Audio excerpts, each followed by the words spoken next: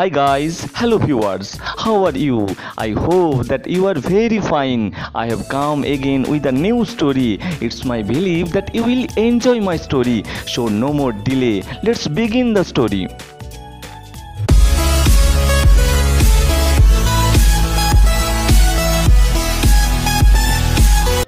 কাকে বলে সফল জীবন জীবনের সার্থকতা কোথায় এই সমস্ত বিষয়গুলো প্রশ্নের আকারে যখন আমাদের মধ্যে উদিত হয়, সাধারণত উত্তর সহকারে আমরা যে কথাগুলো বলে থাকি তা এরকমই। হ্যাঁ যখন আমাদের কাছে টাকা, পয়সা, ধন, দৌলত, গাড়ি, বাড়ি ব্যাংক ব্যালেন্স প্রচুর পরিমাণে থাকে। ভোগবিলাসিতা করার জন্য কোনো সমস্যা থাকে না, আরাম করার জন্য কোনো অভাব থাকে না এবং তার সঙ্গে সঙ্গে একজন প্রিয় মনের মানুষ থাকে, যাকে আমরা ভালোবাসতে পারি, বিশ্বাস করতে পারি। হ্যাঁ অবশ্যই তাকেই বলে সফল জীবন। জীবনের সার্থকতা সেখানেই। আদৌ কি তাই? এইটাই কি চিরন্তন সত্য কথা? যাই হোক, এই বিষয়গুলোকে সামনে রেখে একটা গল্প বলার চেষ্টা করব। একবার ভগবান শ্রীকৃষ্ণ তার বালক বন্ধুদের সাথে মাঠে খেলা করছিলেন। অবশ্যই বালক কৃষ্ণ বালকৃষ্ণ মাঠে খেলা করছেন এবং সেই মাঠের পাশেই একটি জঙ্গল আছে। সেই জঙ্গলে নানা প্রকারের গাছ আছে। ভগবান শ্রীকৃষ্ণ তার বন্ধুদের সাথে যখন মাঠে খেলছিলেন, সেই সময় আকাশের অবস্থা খুবই খারাপ। অর্থাৎ বৃষ্টি হবে, প্রবল বৃষ্টি হবে। এমনই একটা অশনি সংকেত দেখা যাচ্ছে। বলা বাহুল্য, বৃষ্টি শুরু হয়ে গিয়েছিল। প্রচণ্ড বৃষ্টি, মুষলধারে বৃষ্টি। ওই অবস্থায় ভগবান শ্রীকৃষ্ণ ও তার বন্ধুদের অবস্থা তো খুবই খারাপ। তারা ছুটতে শুরু করল একটু আশ্রয় নেওয়ার জন্য। এদিক ওদিক ছুটতে ছুটতে অবশেষে ভগবান শ্রীকৃষ্ণ কী করলেন? তার বন্ধুদের সাথে একটা বটগাছের তলায় চলে গেলেন এবং সেখানে আশ্রয় নিলেন। সেখানে আশ্রয় নেওয়ার পর ভগবান শ্রীকৃষ্ণ বটগাছের উদ্দেশ্যে কিছু কথা বলেছিলেন। তা এরকমই, দেখো বন্ধুরা, আজকে এই বটগাছের জীবন সার্থক হয়ে উঠেছে, সফল হয়ে উঠেছে। কেন জানো? কারণ এই দুর্যোগের দিনে অসময়ে এই বটবৃক্ষ, এই বটগাছ আমাদেরকে আশ্রয় প্রদান করেছে। এবং আমরা সবাই এই বটগাছের কাছে ঋণী। আমরা অবশ্যই আমাদের কৃতজ্ঞতা প্রকাশ করব এই বটগাছের কাছে।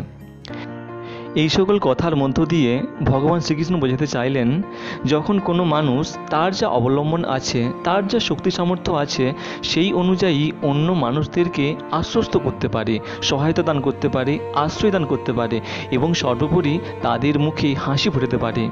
ওই যে একটা বিখ্যাত কথা আছে না, অন্নহীনে অন্নদান, বস্ত্রহীনে বস্ত্রদান, জ্ঞানহীনে জ্ঞান দান বিদ্যাহীনে বিদ্যা দান সত্যি, জীবনের সার্থকতা সেখানেই, সফল জীবন তাকেই বলে। যাই হোক বটগাছ সম্পর্কে আরও একটা ঘটনাতে যাই। জীবনের একবারে শেষের দিকে ঠাকুর শ্রী রামকৃষ্ণ বিবেকানন্দকে একটা প্রশ্ন জিজ্ঞাসা করেছিলেন। বলা বাহুল্য, স্বামীজি তখনও স্বামীজি হননি, অর্থাৎ সন্ন্যাস ধর্ম গ্রহণ করেননি। তখন তিনি ছিলেন যুবক নরেন্দ্রনাথ দত্ত। যাই হোক ঠাকুর শ্রী রামকৃষ্ণ যে কোশ্চেনটা জিজ্ঞাসা করেছিলেন তা এরকমই। নরেন, তুই কি হতে চাস? তোর লক্ষ্য কি? স্বামীজি, অর্থাৎ যুবক নরেন যে উত্তরটা দিয়েছিল তা এরকমই। ঠাকুর, আমি সুখদেবের মতো একেবারে ধ্যানে বুঁদ হয়ে থাকতে চাই। নির্বিকল্পক সমাধিতে ডুবে থাকতে চাই। নির্বিকল্পক সমাধি।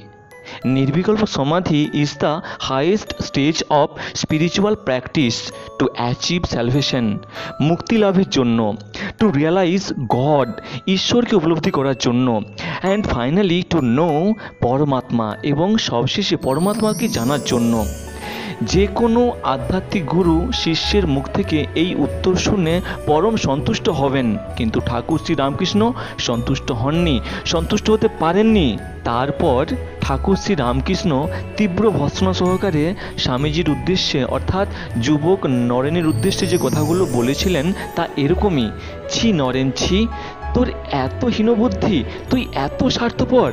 জগৎ দুঃখে পুড়ে খাঁক হয়ে যাচ্ছে, মানুষ কত কষ্ট পাচ্ছে। আমি ভেবেছিলাম তুই এক বিশাল বটগাছ হবি, তোর তলায় কত পাপি তাপি এসে পাপ জুড়বে, তাদের প্রাণের জ্বালা জুড়াবে। তুই কত জীবকে আশ্রয় দিবি, আর তুই কিনা নিজের মুক্তির কথা ভাবছিস? হ্যাঁ স্বামীজি সেদিন বুঝেছিলেন। যুবক নরেন্দ্রনাথ দত্ত সেদিন বুঝেছিলেন তার জীবনের উদ্দেশ্য কি, তার জীবনের লক্ষ্য কি, আদর্শ জীবন কাকে বলে, সার্থক জীবন কাকে বলে, তাই তো তিনি পরবর্তীকালে বলেছিলেন they are only alive who live for others and the rest are more dead than the alive তারাই যথার্থ জীবিত, যারা অপরের জন্য বাঁচে, এবং বাকিরা জীবিত থেকেও মৃতপ্রায় অবস্থা, জীবন মৃত। আচ্ছা এখানে আমার একটা প্রশ্ন আছে। ভগবান শ্রীকৃষ্ণ ওই জঙ্গলে কেন বটগাছের তলায় গিয়েছিলেন? ওই জঙ্গলে কিন্তু আরও অনেক গাছ ছিল, তিনি কিন্তু অন্য কোনো গাছের তলায় যাননি বট গাছের তলায় গিয়েছিলেন এবং সেখানে আশ্রয় নিয়েছিলেন। তার সঙ্গে সঙ্গে ঠাকুর শ্রী রামকৃষ্ণ কেন বট গাছের কথা বলছেন? স্বামী বিবেকানন্দকে কেন বটবৃক্ষ হতে বলছেন? উত্তরটা কিন্তু খুবই সহজ। আমরা সবাই জানি, প্রথমত expansion of the banyan tree বটগাছের যে বিশাল বিস্তার। দ্বিতীয়ত height of the banyan tree বটগাছের যে উচ্চতা। তৃতীয়ত স্ট্রেংথ অ্যান্ড স্ট্যাবিলিটি বটগাছের প্রচুর শক্তি এবং বটগাছ দীর্ঘদিন ধরে একটা জায়গাতে অবস্থান করে। অতি সহজে বটগাছকে নড়ানো যায় না, ভাঙা যায় না, তার স্ট্রেংথ আছে স্ট্যাবিলিটি আছে। চতুর্থত কুল অ্যান্ড কমফোর্টেবল অ্যাটমসফিয়ার বটগাছের চারপাশে সব সময়ের জন্য একটা শীতল এবং আরামদায়ক পরিবেশ বিরাজ করে, যার জন্য অনেক প্রজাতির জীব সেখানে বসবাস করে। অনেক পশু পাখিকে দেখতে পাওয়া যায়। কখনো কখনো মানুষও বটগাছের কাছে যায় একটু বিশ্রাম নেওয়ার জন্য। এক কথায় আমরা বলতে পারি, একটা ছোট্ট বাস্তুতন্ত্র বা ইকোসিস্টেম বটগাছের চারপাশে গড়ে ওঠে। আমি যদি ভুল না হয়ে থাকি, সম্ভবত বটগাছই পরিবেশের মধ্যে বায়ুমণ্ডলের মধ্যে সব থেকে বেশি পরিমাণে অক্সিজেন সরবরাহ করে। এমনই বটগাছের মহিমা, এরকমই বটগাছের গুরুত্ব এবং অবদান আচ্ছা এবার আমরা আমাদের জীবনকে জগতের বিশাল রঙ্গমঞ্চে অবতীর্ণ করাবো। অর্থাৎ আমরা সবাই এবারে উপস্থিত হব।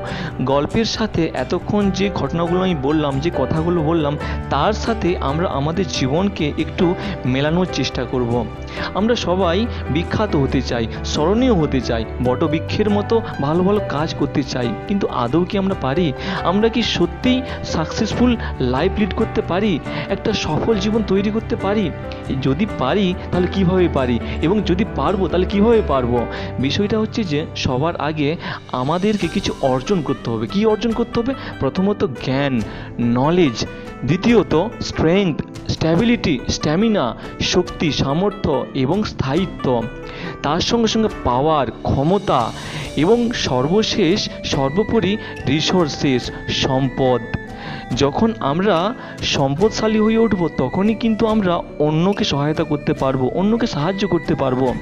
সবশেষে একেবারে উপসংহারে যে কথাগুলো বলতে ইচ্ছে করছে তা এরকমই earn money to contribute take to give get ready to serve be grateful and show your gratitude to those who have done good to you and given service to you as well as to the world এভাবেই জীবনের সার্থকতা, একটা সফল জীবন এভাবেই তৈরি হয়, একটা সফল জীবন এভাবেই আমরা যাপন স্থাপন করতে পারি এই পৃথিবীতে।